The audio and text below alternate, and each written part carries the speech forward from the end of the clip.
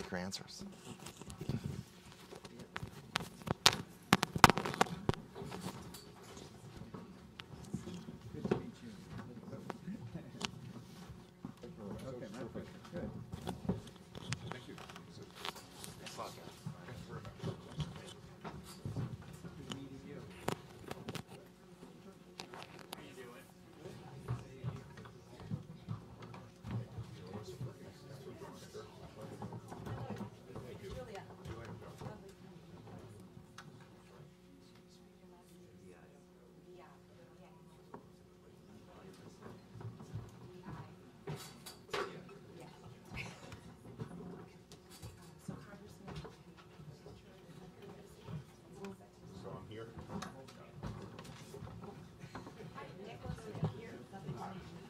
What do you need me?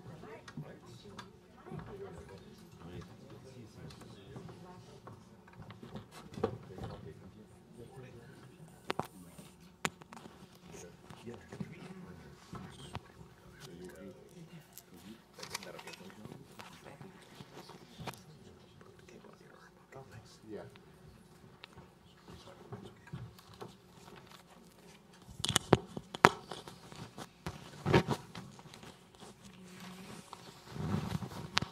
Yes. That I fruit of the occasion from Paris, so. Like some water? Yeah, uh, day before, actually.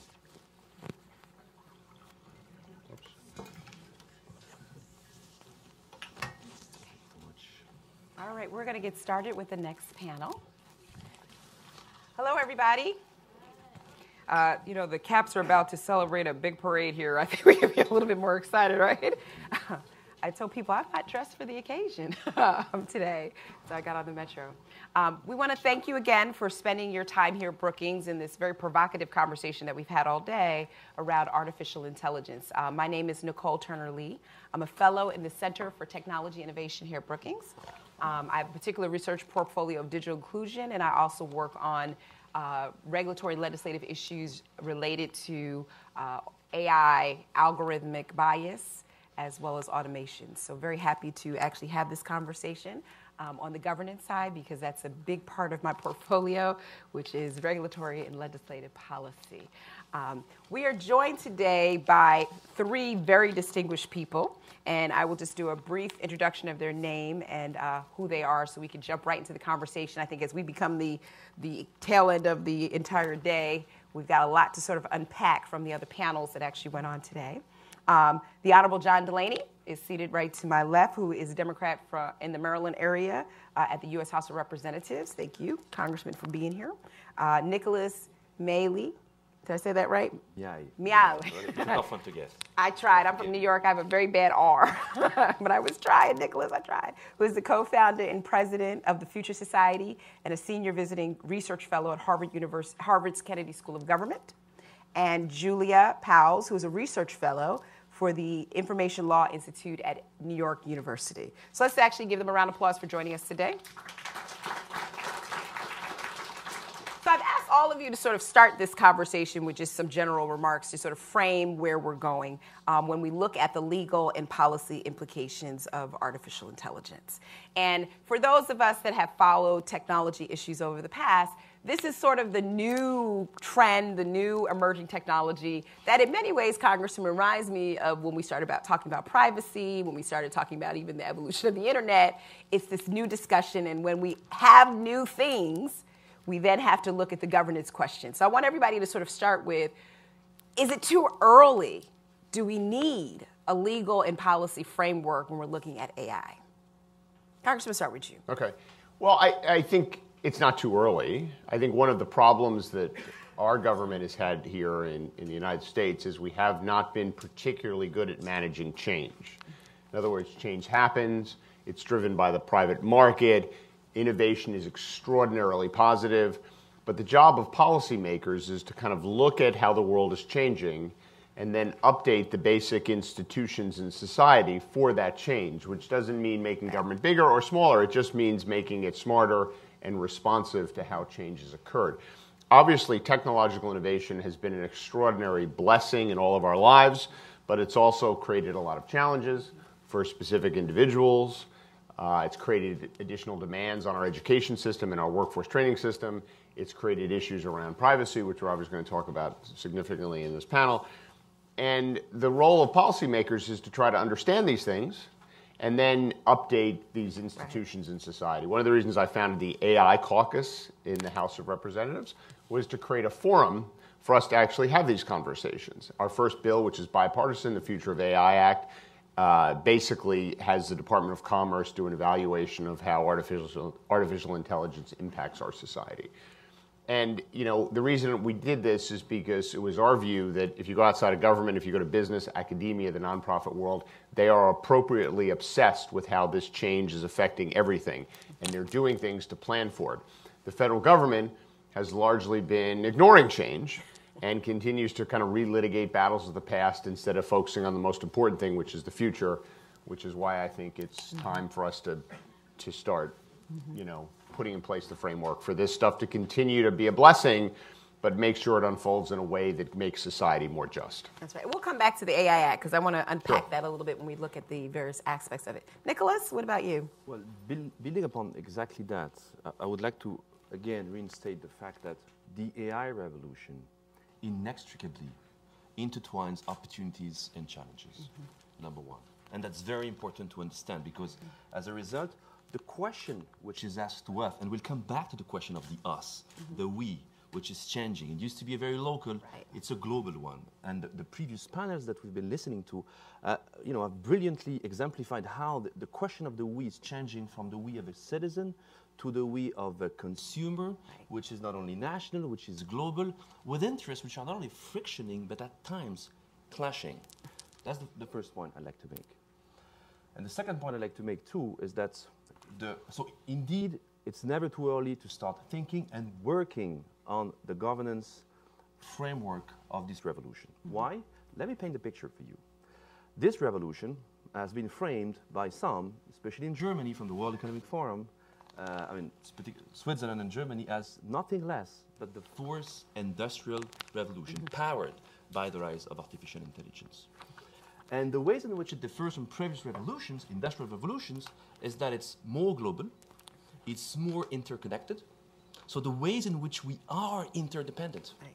is very important. And, and, as a result, from my perspective, what, what, what happened in Canada yesterday is problematic. Mm-hmm. The fact that President Macron, for example, is demanding and putting on the table proposals for more collaboration on the governance of AI, not regulation now, mm-hmm. collaboration, proposing the rise of what we call an IPCC for AI, an inter panel for artificial intelligence, mm -hmm. so that we agree on a strong base of fact, base of matter of fact over what do we mean by artificial intelligence. We've seen this morning how options, definitions diverge.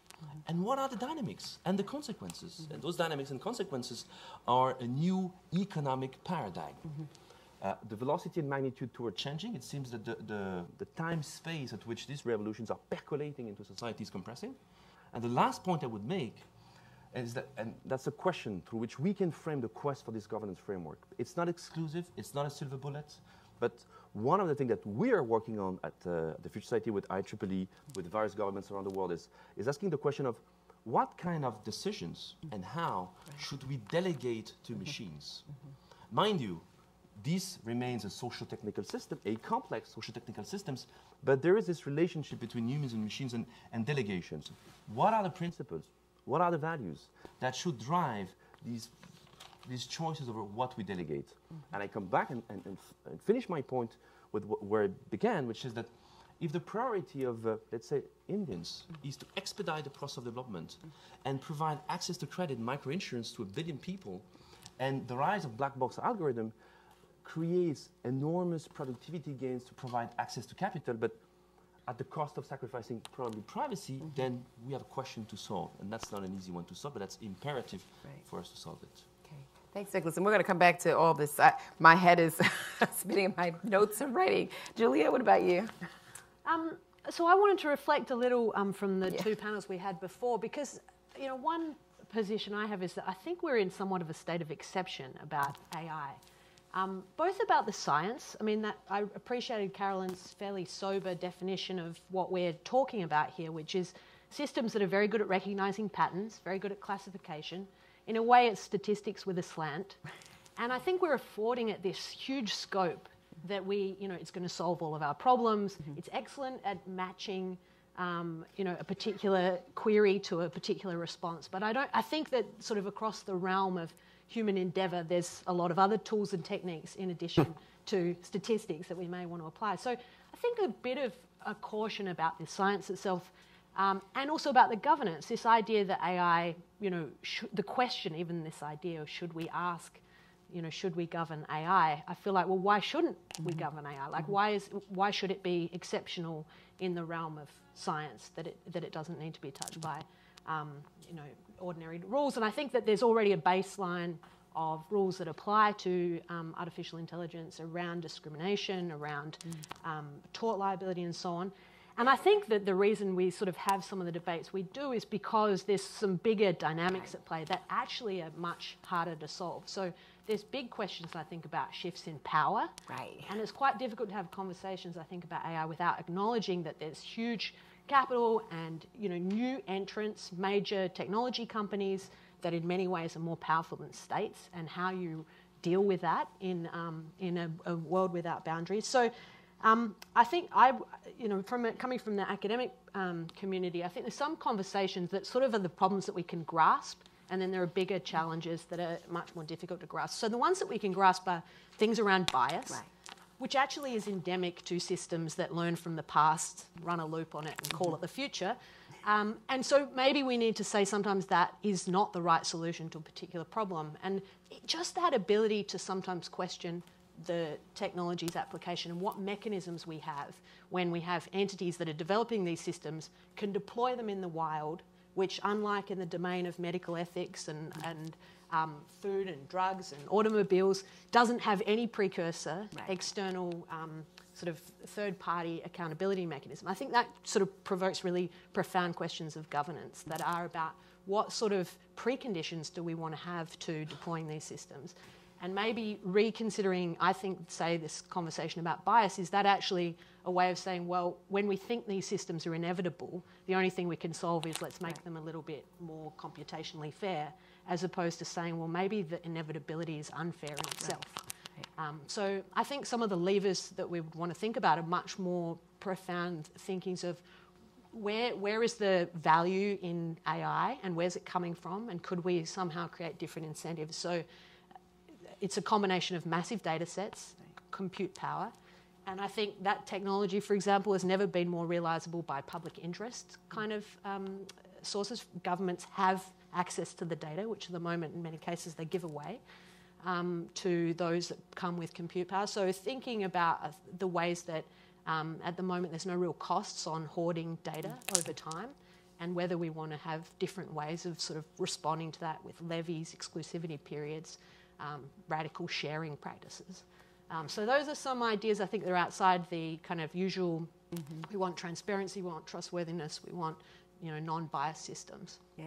So I want to I want to pick up on that. So I'm going to share something that I once heard, um, and I won't reveal the source, but it was interesting about the evolution of technology. Then just sort of unpack what aspect we should be paying attention to, because I think you've laid out, Julia, some of those that sort of streams this conversation. Um, Some would say, with technology's evolution, that a lot of the design and technology project products were between the consumer and the pixel, right? So, video games, I'm not going to say my age, but Atari, Sega Genesis systems, very static, right? Way to actually develop technologies. Then, over time, we saw the pixel, the individual, and then the ecology shift, right? Where we actually now see changes in the marketplace, Amazon, companies changing the way that we do business. Now, with AI, we're actually seeing societal shifts. So, what you talked about in terms of power structures, uh, bias, you know, just evolutionary shifts that are probably more drastic and dramatic that have a global ramifications.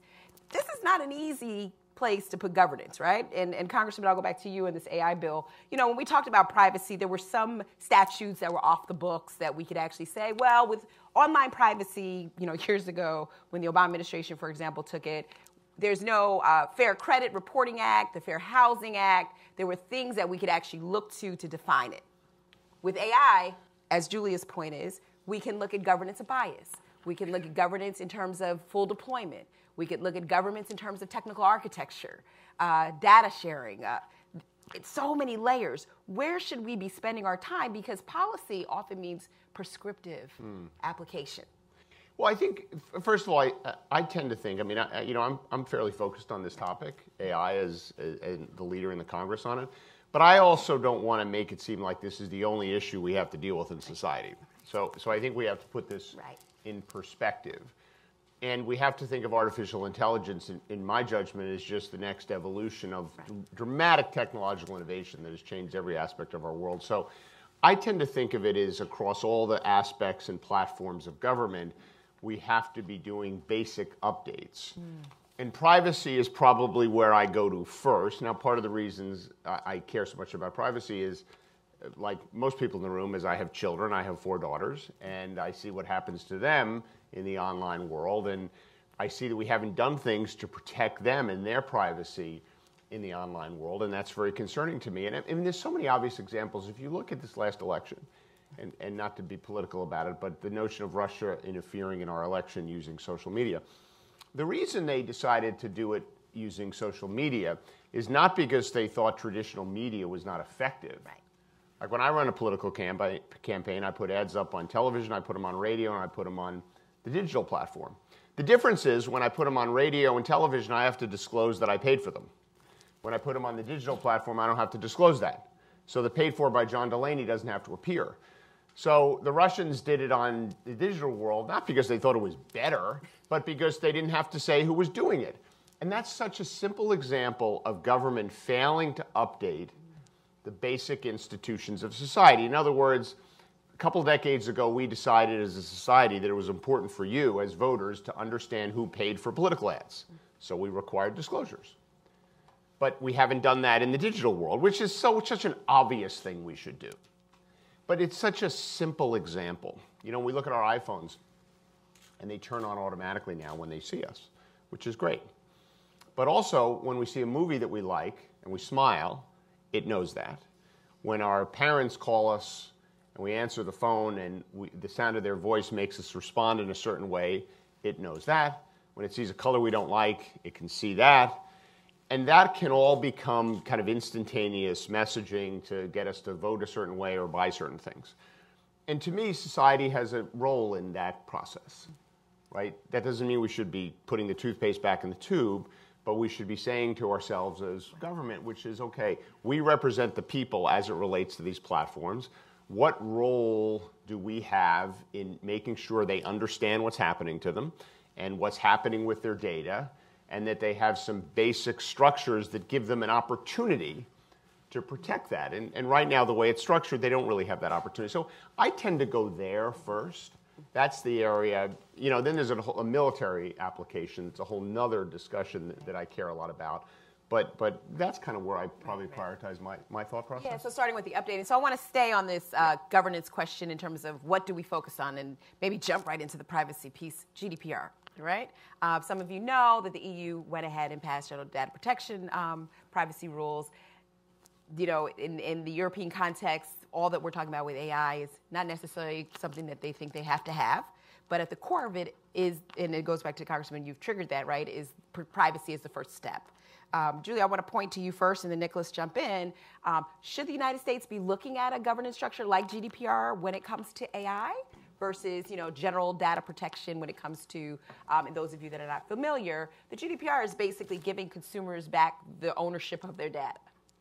among others, Yeah, exactly, right? among many other things. and many other well yeah other things putting in governance structures etc but i always say with ai as we've spoken about it's a little bit more difficult right because the human intelligence the neural reaction how do you govern that so i want to start with julia then nicolas jump in Yeah, so I think that um, what the GDPR offers is a bit of a response to this kind of zeitgeist issue of we're, we're facing a future where there are going to be systems that we don't really understand that will have increasing consequences for life um, options for different people. So, what, what it provides, I think the, the challenging aspect of the GDPR and the 25 year framework that it builds on is a very strict um, regulation and control of all flows of data. And that, in many ways, and anyone who's looked at copyright, it's a similar thing. Like at foundation, it doesn't really work for the internet age in that we, that sort of level of control is difficult. In practice, it's enforced in a kind of well, somewhat ad hoc fashion, but it tries to focus on where there's more harm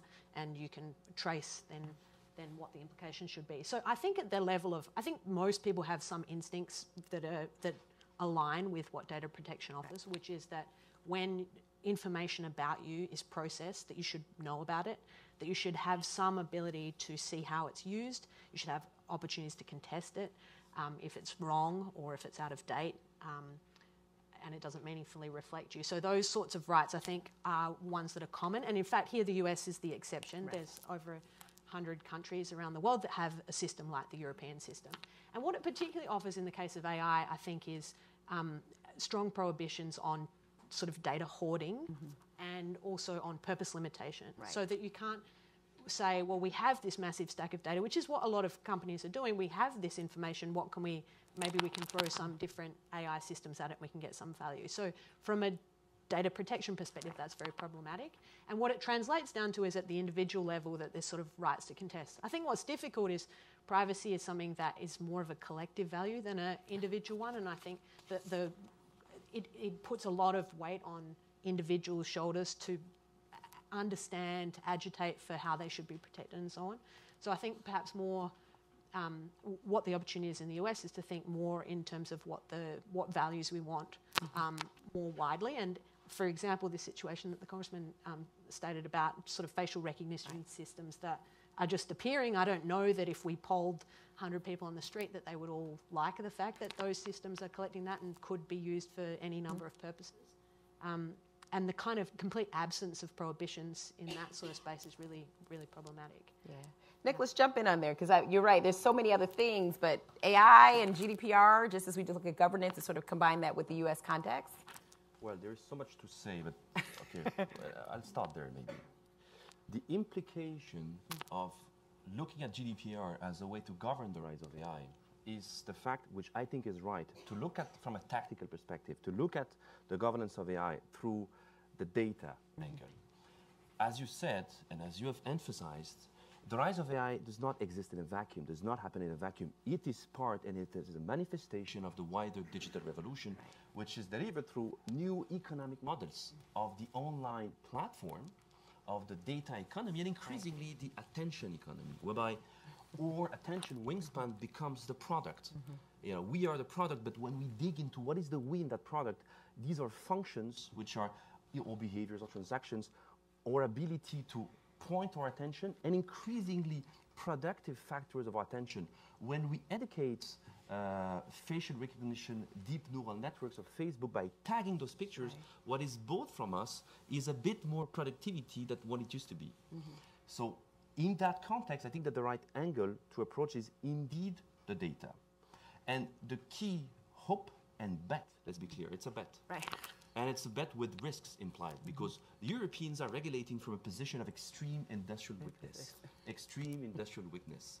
And so they're creating, creating the conditions whereby leading, leading actors in Europe were not very much digitized, are not acquainted with th- those new business models, mm. and growing tech, tech giants in the US, for example, will have the financial wherewithal and the, I would say, organizational strength to adapt mm-hmm. and to adapt and comply with that regulation. Those who could suffer are small innovators. Yes. It's mm. a bit like net neutrality. Those who suffer that are small. Those who can pay, because that's a barrier, that's a payment, that's a fee to pay at the end of the day. So we are, as Europeans, because I'm French, we are aware of that. Mm-hmm. The big bet that we're making is that we want to plant a stake to create a digital market which is based on trust. Mm-hmm. Trust that in that framework which I described before over what kind of delegations we delegate to machines and the ways in which those delegations are based on data, the ways in which we entrust data for certain users to those companies is regulated in terms of consent, in terms of portability of right. data, and so many other things. The implications are the following. Right. Europeans want to leverage their 500 million consumers integrated, not sufficiently, but integrated digital market to send a message to the um, multinationals. And it's no surprise that Facebook, Microsoft, IBM have said and declared all publicly, and you correct me if I'm wrong, that they consider the extra, extraterritorial uh, impact of GDPR as potentially something beneficial, that GDPR could become right. a global gold standard. And because we have so much in common in terms of values across the Atlantic, the transatlantic partnership around these values can be enormously, enormously constructive in how we define the global gold standard.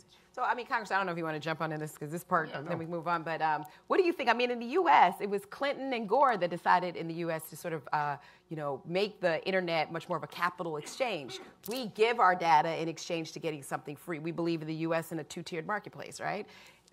That changes. European, I mean, the GDPR came in a perfect storm, which is why I think it has so well, much Well, but the world changes. Right. Right. So, I mean, look at I, I tend to think it's incredibly important that we not bring too much ideology to this debate.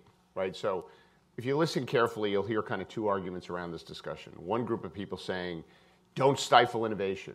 Anything the government does stifles innovation." Well, that's ridiculous.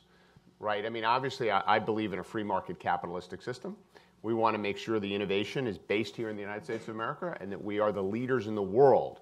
That's incredibly important to our competitiveness. No disrespect to your country, but as a, a representative of the United States, I want to win in the technology of the future, and I want it to be in the United States of America. So I don't want to hamper innovation, but that doesn't mean we can't put in place certain protections for our consumers. Similarly, some people see see anything that moves and they want to regulate it and that's a bad outcome. So I think we got to be very balanced about this. We, again, I keep coming back. The world changes, and part of the government's job is to update the basic institutions of society for that change. Change is generally very positive. I think the other thing that's dangerous in these discussions are all these, you know, doomsdayers. You know, the Elon Musks of the world who are predicting the end of the world based on this stuff. First of all, they have no ability to predict that. Just because he's been successful at building electric cars, and I applaud him, that doesn't mean he has any better insight into how the future of this is going to unfold than anyone else. Generally speaking, history teaches us that innovation is extraordinarily positive for the condition of humankind. I think this will be that way as well, but that doesn't mean there's not a role for government to kind of update institutions to protect our citizens, ensure that our country wins in this next age of innovation, and importantly, that we prepare our workforce that they have the skills they need to be able to get jobs and succeed in the world as it will change based on these systems. So I want to go back then, and, and, and we'll soon take a couple of questions for the audience. But I want to go back though to this conversation. Then, so where do, where should government come in? Um, and I want to sort of reflect back on Julia's question of bias and the work that I'm doing here at Brookings, and uh, Darrell and I sort of and kick the can on, which is you know, to many respects, facial recognition does have disparate impact. It has different disparate treatment, and it contributes to uh, ec- an equity. Um, in many effects, it has disparity effects. We call it, you know, where um, the facial recognition, or let's just go with uh, the algorithms and the AI that's used for predicting bail and sentencing and incarceration, has baked in bias. Where African Americans, for example, regardless of how smart the science is, they still uh, tend to be incarcerated longer because the training data, and you said it earlier, is not necessarily academic, it's sort of rooted at the bottom line. Um, countless cases where we've seen um, FaceApp, uh, photoshopping apps based on European models that basically uh, oppress or credit score stacking, et cetera. Is that the place where government should start, looking at protected classes? Um, Nicolas, you said something. In many respects, if you're not online, you're actually online because those investments that are driven by AI are not coming to your community. When we look at that, I'd just like to ask all of you is that a, a place where we actually can get some consensus that governance is probably well needed to ensure that we don't create a massive divide that we've worked really hard to have technology not do, which is to help people solve problems, not help people become poorer and healthier and uneducated, you know, as a result of, of their lack of access to it. Anybody? Well, I would just say three words privacy, transparency, disclosure. Right? Government has a role in making sure that privacy is protected, that there's disclosure in how things are programmed, recognizing you got to protect certain intellectual property, there's that people understand, and kind of transparency around actually what the user experience is really all about. Yeah, so um, I think those different examples you said of facial recognition are really interesting. As an outsider to the, to the US system, I can look at the criminal justice system and see all sorts of problems. Um, but I think most, for any of these sort of algorithmic systems that build on top of what we've already done in criminal justice, the key challenge is we don't really have very good or any data about crime. We have a lot of data about policing. And so the more that policing, which we know to have all of these endemic issues, is refined to keep doing what we've been doing, it's going to perpetuate, I think, a very unequal state of affairs. With solving systems, this sort of idea that we don't want facial recognition systems that can't capture minorities and other groups, I think the challenge there for those who work on these technologies in industry and in academia, where a lot of the policing work happens, right. is that there can be really perverse outcomes in making the systems equal and fair. And I think what's very striking to me is that the sort of whole conversation about bias and fairness takes this very formalistic idea that, like, if we all treat everybody the same, then it'll somehow be fair. But I mean, I actually would celebrate systems that don't capture a proportion of society, and maybe we should say, therefore, they're not very good, and we don't want to use them for this particular application. Because in the process of making, you know, solving this great fight of computational fairness, we create this, these systems of, I think, ubiquitous surveillance, which have all sorts of other consequences. Um, and it's just a sort of very problematic direction.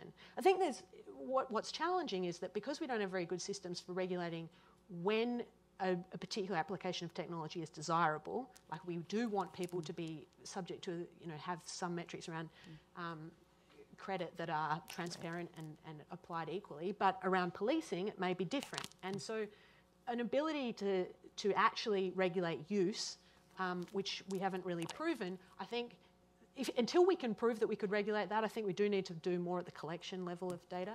Um, and so a lot of these systems, there's a real question about whether we should be using them at all.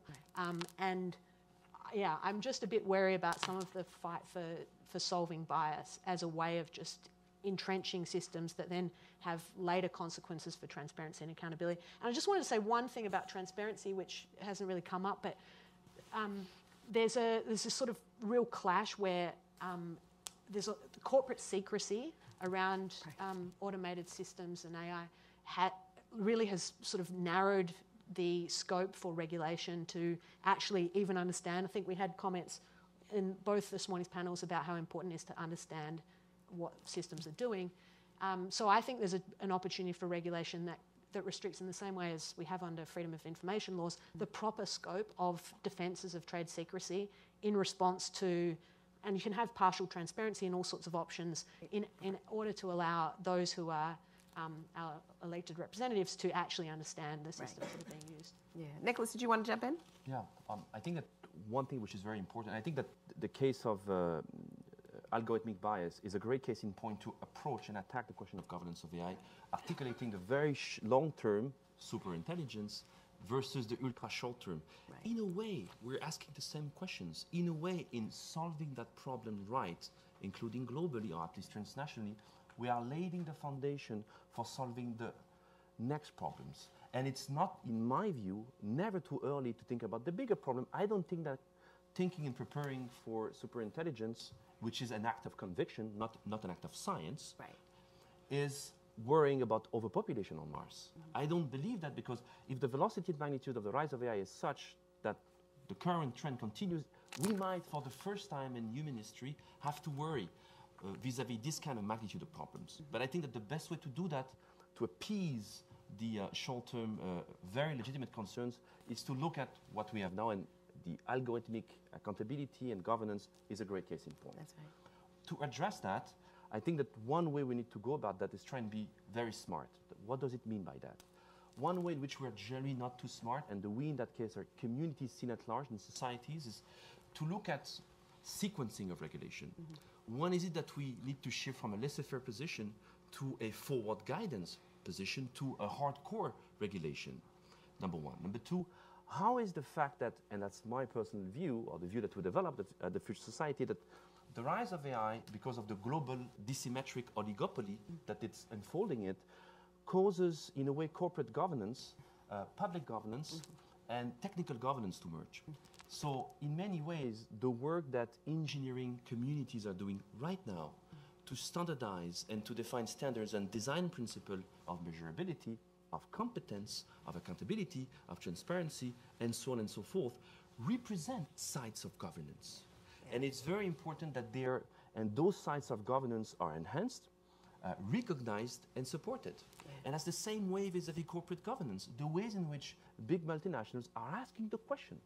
In most ways, in very sincere terms, in, in trying to look at this problem initially from a corporate social responsibility and now increasingly from a corporate governance perspective. I think is a very good thing. And one thing which I heard this morning, which is that we need more and more of these kind of dialogues, I think which I totally agree with, I would qualify a bit, a bit more what we mean by dialog mm-hmm. Let's not be afraid of it. We're talking, in a way, in the most noble way, we're talking politics. yeah. Mm. And we're talking politics with the right kind of stakeholders. Mm-hmm. And it's very important to appro- not be afraid to approach that question and not find, in a way, fall in the trap of this, which is ongoing, uh, which is this paradigm of a global race for AI. It's happening, yeah. and therefore it's very important to be able to upgrade the quality and the volume of these conversations at a global level without crushing very local identities and problems involved in that. Yeah. Because the question of AI ethics in this country, in the case of the Loomis case, for example, in access to justice, is not at all the same of the case of uh, as I said before, an Indian farmers demanding access to micro, micro insurance. That's right. Do you want to respond, Congressman, or any on this before? Okay. I mean, I, I think uh, just to kind of stay on the three points that you all made, I mean, I think that's the biggest challenge with AI when it does come to governance. Uh, the paper that we're working on, and I, and I sort of like, Nicolas, way you framed it, we've done uh, conversations here in Washington, D.C., where it's mostly policy people who are like, we don't like the output, you know, it's because it creates this disparate impact, this disparate treatment. It's not enough of a sample we go out to Bay Area and they said, but we like the formula. the computation works. This is what people are telling us that they're doing online through their tags. And we're using that natural resource of big data to come up with these assumptions, not realizing that it's the inferences that come from um, this activity on the web that creates, you know, what the policymakers are seeing. And so I think you're right. Corporations are coming up with their own governance. Data um, engineers are coming up with their own governance policymakers are coming up with their own governance. And at some point, and I'll go back to you, Congressman, policymakers are all about protecting consumer trust, uh, you know, the public interest.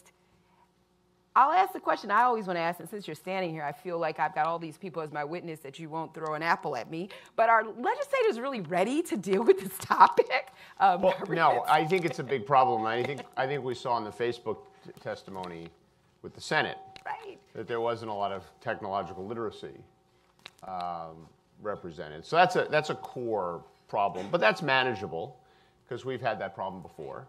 And ultimately, policymakers, guided by smart people who are interested in good public policy, help them get there. But, but it has to come. See, I think there is a little bit of a top down approach that's needed here, which is what this country needs, the United States of America needs, is a national strategy around artificial intelligence and it should have kind of four components to it. The first and most important component to it is what we do to protect our citizens and our consumers. And we've talked a lot about that with respect to privacy and data. There's a basic level of consumer protections, a bill of rights, if you will, for our, for our consumers as it relates to what they should expect their government to do to kind of intermediate between themselves and the technology companies so that they're protected. That's the first thing. The second thing that the country needs to do is basically look at kind of the business opportunity available to our nation from a competitiveness standpoint and make sure we're making the right investments in basic research so that we continue to develop the cutting edge technology here in this country and it becomes commercialized in ways that create jobs here. So there needs to be a kind of a competitiveness angle. The third aspect to a national artificial intelligence strategy would look at the future of work and look at how these technologies will disrupt the workforce. They'll create jobs, they'll disrupt jobs. Are we actually educating people and training people so that they have the skills they need to get jobs in this future?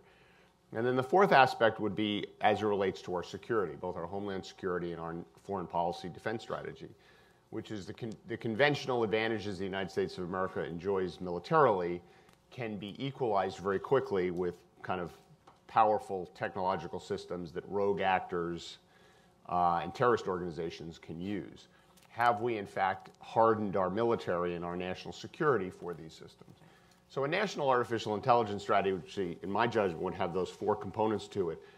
And if we articulated that without specific regulations, but articulated goals, what we should be seeking as a country, then it seems to me it would be a lot easier for the legislative branch to actually do its job and work with experts, et cetera, and go through the legislative process to put in place things to make those kind of that strategy That's come right. into being. But we don't have that. We don't have that, in part because of ideology, right? Some people say, no, no, no, there's no role for government in this. And other people's like, yeah, the government's got to be doing everything, right? And, and that's like a lot of issues we have in this country. Instead of solutions, we get gridlock. Right. And that's a problem as it relates to the future, because unless you prepare for the future, you um, don't benefit from it as much as you could. That's right. Congressman, I hate to do this shameless plug, but uh, Darrell West has a book that talks a little bit about ideology. Uh, yeah, I know. Here, Brookings just came out. Uh, if you haven't read this book, you have to read this One book. thing, so, so John, no, but I, I've got to read the book. But John F. Kennedy in 1958, uh, four weeks after Sputnik was launched, when the country was terrified about us losing our leadership position, gave a speech in Baltimore, Maryland, where he said, we shouldn't seek the Democratic answer, we shouldn't seek the Republican answer, we should seek the right answer, and we should own our responsibility for the future. That's what we need as it relates to technology. This isn't a Democrat or Republican issue. right. This is an issue for all Americans, and we ought to be doing the right thing to prepare ourselves for the future. Yeah, Darrell, you were forecasting on that one. I want to give the last two panelists just an opportunity to speak on, you know, again, we've heard uh, the production of a national strategy, particularly that applies to the U.S. Nicolas, you've talked about global. Do you see something more global in terms of a framework and, and where we go with this? I certainly see an ongoing race for artificial intelligence for very legitimate and good reasons, which is to capture the upsides, productivity gains, power. So it's a question of power and sovereignty, and therefore the fact that there are very legitimate national techno strategies which compete with each other because they correspond to communities of interests, communities of values, communities in practice, which are not yet harmonized, creates the condition for destabilization. Not only from a military perspective, but also because, like we've said before, I keep on coming back at this example of the Indian farmers vis-à-vis the, the let's say the American or the uh, European consumer. These frictions, this lack of harmonization creates tension and probable uh, destabilization or ongoing destabilization. All work, and one other thing that we do is we work with several organizations, including, for example, uh, the government of the UAE, which has appointed a very young minister, state minister for artificial intelligence, which wants to work on laying the foundation for a global uh, governance framework, basically. And that starts, and we should not shy away from that, that starts at the point of discussing where do we have common grounds in terms of values. And more often than we think, because we are going through a wave of convergence, we are going through a wave of uh, globalization, we can find common grounds. So it's about finding those common grounds in terms of the those values and translating those common grounds in terms of design principles, mm-hmm. norms, codes of conduct, codes of practice, and so on and so forth. Mm-hmm. And every effort that go in that direction, in my view, are very constructive. There mm-hmm. are some of them, and that's why I come back to what, as an example, the French president Right. suggested two months ago, which is to start by creating an IPCC for AI to come together as a global community to start agreeing on what do we mean by AI, what are the dynamics, and what are the consequences. Right. And I think we have several precedents, right, when it comes to international governance, you know, cross-border data flows, all of the data portability. We've been around this conversation before, you know, in many respects. I think you're right that there's this local governance that is very much pertinent to the country, and then there's this opportunity to do more collaborative work and sharing, which comes up with best practices as a repository values. Julia, and then I'm going to open it up for questions. Yeah, I want to hear from people, but I, just one. Um, I think it's a very compelling sort of uh, comprehensive strategy. I think it'll all depend on the interrelationship between the first and second part. And often, what happens in the piece about how you get the innovation is that all of the parts about cons- protecting the public sort of falls by the wayside. And Right. I think the real one that's in in my view a sort of a, a real rethinking of the data economy and the opportunities that exist for to me, it's not that innovative to let companies that are sitting on hordes of data and are incumbents to just keep monetizing it however they can. And there's ways of thinking about those assets um, that could really spur a lot more innovation and competition. And I think that demanding that the innovation proceed in a principled manner isn't isn't to stop it; it's to save it. So, yeah. Yeah, this has been a valuable conversation. I'm going to open it up for questions. So uh, I will recognize you. Why don't we start this way, and then we'll we'll go here to this young lady, and then we'll come over to you. Uh huh. Uh, my name is Melissa Cataldo. I'm a student at California State University Long Beach, currently working with Storm King Analytics. Um, so, my question is we've talked about how AI is used to detect patterns and therefore make decisions. So, with the extensive future applications of the technology, especially with automation, how do we decide or program ethically debatable decisions within the new advances? Are we capable of determining which decisions should be systemically programmed? without bias? And do we establish these determinations through governance or through what methods would we use? Mm-hmm. Anybody want to take that question? Go ahead, I can take a first crack at that. Well, one, one way to look at that is really to understand what is this big data driven, machine learning centric, mm-hmm. algorithmic centric tool um, system that is AI today. Today, when we talk about AI, we talk about essentially not only that, but essentially that. It means that there is a convergence between big data, growing computing capabilities, and those old but now high performing, um, let's say, machine learning techniques, including deep neural nets. So, looking at how we can extract more accountability and explainability from these, um, I would say, system is not only a question of open data. Of course, we need to be able to see the kind of data and data sets which are used to train these algorithms. Right. But increasingly, because the, the computing is done at the core of the hardware, we need to also have more open hardware. So for, for example, when large multinationals, like Google, not to quote them, talk about TensorFlow as an open architecture, which I think is great. I think it's not only a question of understanding the ways in which the algorithm operates. If we want to govern well, we need to go to better understand the type of data that have gone into that. Right. Um, I think it's it's, so it's a question of what kind of data, what kind of computing hardware has been used, and what kind of algorithmic architecture has been used. And moving from there into a conversation where we look at what are the values that we have, what are the tensions between access and protecting privacy, protecting dignity, due process. These tensions and the ways in which communities and countries look at them are important to go towards the right kind of solution. But there is no, and there won't be any silver bullet. That's right. Mm-hmm. And, and the private sector should understand that unless there's transparency around how these things are how these things are done, that it won't ultimately play out well for them, right? Citizens will reject it. And let me just give you one example. Warren Buffett tells a good story. He owns a company called Geico, which is the largest auto insurance company in the world. And he was asked, well, people aren't going to need auto insurance anymore because we're going to have driverless cars and there'll be no accidents. So how's that going to be for Geico? And he said, Well, let me tell you the issue with that question. And he said, It'll happen. We have the technology. But he said, Imagine a driverless car is driving down a road. And approaching it is a car driven by a human being with two passengers in it. And the person driving that car has a heart attack. And the, that car swerves towards the driverless car. On the side of the road, on the sidewalk, is a five year old girl riding her bicycle. So the driverless car has to make a decision. Does it hit the, the car that's coming towards it, which is the person had a heart attack and it has two passengers? Or does it veer and run over the little girl on her bicycle? And someone's going to program that car to make that decision. And his point is society cares a lot about that decision. Mm-hmm. And unless society understands completely how that decision was made and who programmed it, it will never be comfortable with it. And that's why when we talk about transparency and the programming of this stuff, it's not only something that we should care about as citizens, but I tell people in the private sector all the time, you should care about this. Because unless people ultimately feel comfortable with this stuff, they may you know, not realize it's happening for a while, but once they realize the implication of some of these decisions, they're going to want to know who made them and they're going to freeze everything until they get to the answer of that. So just if I can just chime in on your question, they need to hire more sociologists, these companies, because they clearly don't have enough people that understand the world context to actually help with some of that. Um, we'll go here and then we'll go here. Um, I want to thank the panel for a very good discussion. Uh, my name is Elliot Hurwitz. I used to work at the World Bank, the State Department, and in the intelligence community.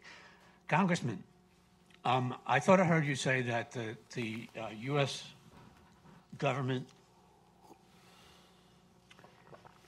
has largely been ignoring change. Um, would you include would you include in that the um, Department of Defense and the intelligence community? Well, look, at I think the Department of Defense um, has obviously been making very significant technological investments, right? Because that's what it does. But in general, largely because of our preoccupation with a lot of wars in the Middle East, I don't think we have been kind of resetting our military from a technological standpoint as fast as we could have. What about the intelligence community? They have not been ignoring, or they've not been ignoring change. No, I didn't. I mean, look at. I didn't say every single person within every department. The U.S. government's obviously a big enterprise. I think in general we have not been good at managing change as a nation, and our policymakers have not been forward-looking at where the world is going and preparing our country for that. Yeah, I, and I would say on that, sir, too. Um, you know, you look at the military and their use and uh, deployment of artificial intelligence in the internet has been much longer than what we're talking about in terms of this commercial market. I think the challenge is it goes back to the election piece that we're used to sort of looking at people playing by the books. so when you look at the Russian election interference, you know, there was, it, it, it almost was like the worst case of voter suppression because no one was going to Supreme Court to say, hey, wait a minute, they just target all these ads to vulnerable populations. Right. And so there's we, a different strategy. We haven't hardened our electric yeah, grid. Haven't, yeah right? Yeah. And that's a homeland security issue. issue. that to me is a country not planning for the future because yeah. if I was a rogue actor, those that's are the kind of things I would be focused on. That's right. And have we done that? No. That's and that right. actually cost about six or ten billion dollars to harden the grid in this country. That's, right. that's actually not that big of an investment relative to this to the cost, cost. of something happening. Yeah. So, sir, right here. Can I oh, sorry. Go ahead. Mm-hmm. I would like to, to add something to this point in terms of the relationship between the markets and governments in fostering the rise of new and fresh techno-scientific cycles. Right. In the history of the digital, governments have been the main purveyor of the, of the kind of long-term, patient, high-risk capital that has enabled the rise of the internet, DARPA, the rise of GPS, yeah, DARPA, and we could continue on and on and on and on and on. So citizens have had, have and will have a yeah. key role to play in driving those techno-scientific right. cycles. But the difference is that the ways in which those uh, techno-scientific revolutions percolate into society through innovation is at this point right. led by private companies, which innovate on the basis of taxpayer money delivered to foster the rise of new techno-scientific cycles. Mm-hmm. And, and, thereafter, when those innovations percolate through the market right. at scale, uh, in all societies, then it creates challenges of adaptation. Right. But, but, I, but to the defense of the private sector, I think what we actually saw with the growth of the internet becoming more transactional versus static are these opportunities, which is very much part of how the internet ecology has grown for these new startups, right? So I think your question is right. It's the extent, I mean, even if you look at the Telecommunications Act of 1934, we weren't anticipating the growth of these types of companies. There was nobody thinking that information was going to be a transactional um, um, a commodity. Wouldn't but it be I nice if it said 2018 after that? Right, exactly, exactly. And that's the point, right? And so I think to your point, I think we have to sit back and say, all of society has been impacted by some type of um, industrialization. This is the next wave of it. I think this conversation is very relevant and timely because then we have to figure out what's the proper foundation to actually make it work. And that's where the updating of laws. My point is in funding highly disruptive, yeah. uh, early technoscientific uh, innovation, the government, which plays its role, yeah. in my view, should pay much higher attention to what we call second and third order consequences. Yeah, that's true. That's the true. case of DARPA is a great case. Is a case, right. Immense talents, immense long-term vision, and a true and sincere, sincere demand to go slightly beyond national security as what drives us right. and look at second order and third order consequences so that when self-driving cars right. percolate into society and deliver major revolution, these consequences have been anticipated because those cycles are long. Right. They are right. at right. least 10 years, if not 20 to 25 years. I see another panel coming, Darrell, on this. So we're not done yet here at Brookings in this conversation, but you're completely right. So we got to invite you all back. Okay. Uh, no, we can take one more question. We've got, or, sir, please, please ask your we question. We should let Julia answer because she's the smartest person on the stage. Somebody, so. did you want to ask it? We have one more question in the back. Uh, if you can, there's a gentleman, raise your hand. We'll go to the gentleman in the way back, and then we'll come to the gentleman a little bit forward. And I think the last question will be this gentleman over here. Okay. Hi, yeah, thank you. This very interesting panel. I actually worked for Delaney campaign 2012, so it's a pleasant surprise. I was going to ask about larger, about the question of a large monopoly, and that Amazon owns not only owns a large part of the web services that drive a lot of websites, but also owns, um, but I mean, also has fingers in Whole Foods and the Washington Post. And that's just one example. I mean, Google has a whole host of, of companies, or rather, Alphabet has a whole host of companies un, under it as well. And you have these huge data silos, mm-hmm. and they, and even if one were to have some sensible worthless legislation that would allow portable data, where would it go? Mm-hmm. Can you address the issue a little bit more? Thank okay. You. So I think, uh, do you all understand the question? I think the question is, eh, would you raise one? We talked about, I heard the competition word come up here on the panel. Sort of like looking at the competition. I mean, Amazon actually just uh, was reported was selling some of their algorithms. I don't know if some of you follow that. But if you can answer that question um, in terms of market competition, concentration, and how this actually sort of plays into the data silo stuff. Yeah, well, I think it's very telling that actually the most progressive thinking in how to deal with tech is in competition, which has traditionally been the kind of a backstop um, when you have to reach for antitrust. Um, but antitrust has a few issues that I think uh, haven't really adapted well. One is just that when you don't discriminate on price, but you have massive data sets and data hoarding that you then can use to offer greater advantages that are free, um, there's it's really not a very easy thing for antitrust to grip on. Um, there's some excellent work. I'd refer to Allen Grunes, yeah. Maurice Stucke, um, Frank Pasquale have written a lot about um, about the implications. Lina Khan here in DC on Amazon. Uh, so th- this is, I think, where it, there's a real opportunity. I think that here the US can really lead. Um, there's been some this sort of a latent latent Sorry. feeling about um, Google and so on, but what, what we do about Amazon and the sort of AI rise and some of the acquisitions that have been problematic in retrospect around like the WhatsApp acquisition by Facebook and so on, um, I think will be crucial in the AI age. So mm-hmm. yeah, I, I, think this is a really important area of policy. So what I want to do is I want to take this question, the second question, if you both will hear both, and then if you all can sort of answer that with a closing comment. So this one, and then the gentleman back there. Uh, Steve Winters, uh, independent consultant. I, I, think I'll direct this to Julia. Um, actually, just around the corner last night, General Hayden said, "This existing systems, AI systems, understand you now better than you understand yourself, yourself. and that's now. We don't have to wait for super intelligence, and those existing systems are getting better." So the problem is, and, and by the way, it's not just because I click on certain things on the internet that it understands me better. It's because it has big data on the whole population and it can compare me to people who are similar to me and come to conclusions. So it's the big data plus the algorithms. So the, uh, how, how do you propose to address the danger that when you have systems that understand me and everybody else in the population better than we understand ourselves, that opens a possibility of manipulation of the populations on a scale that's never been conceived of before.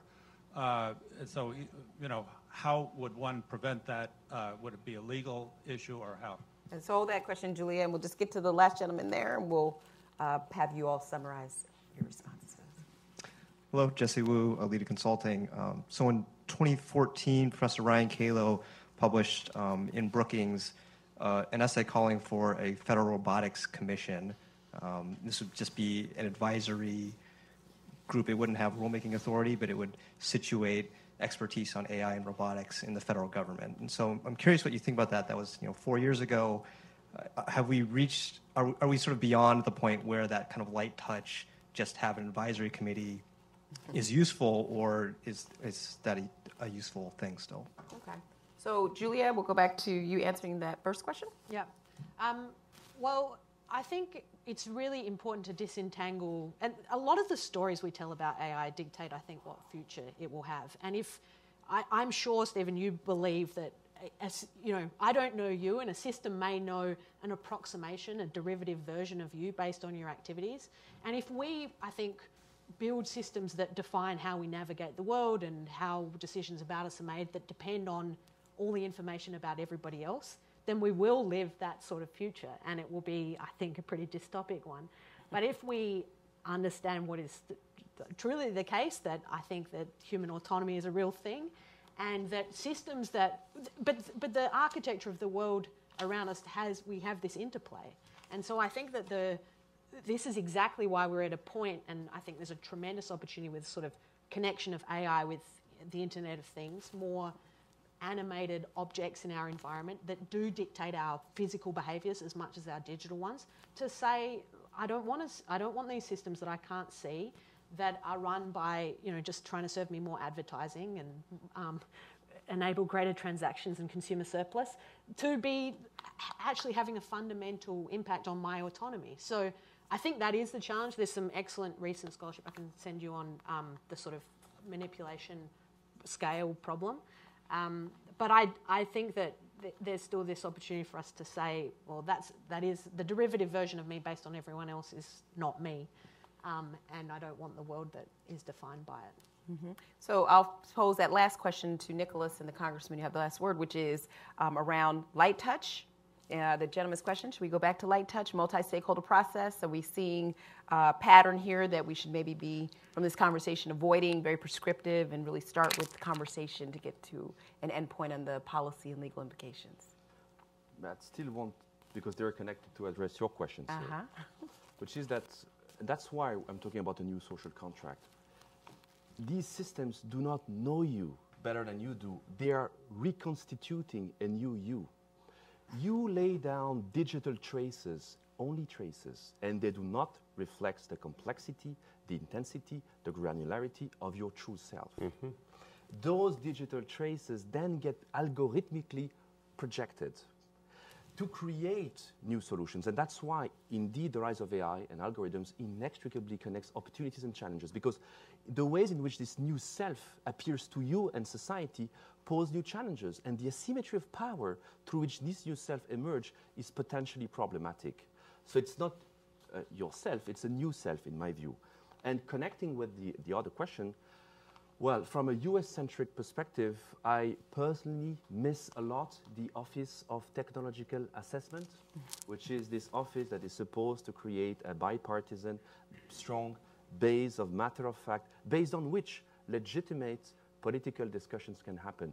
And I'm a bit weary of, in a way, trying to find a fix, meaning an uh, administrative independent authority where we need to get to the meat of a very important conversation. That's, that's where I'm a bit, uh, I think we need that, but I would rather see first the right kind of conversation brought back where democracy is to be played in this country.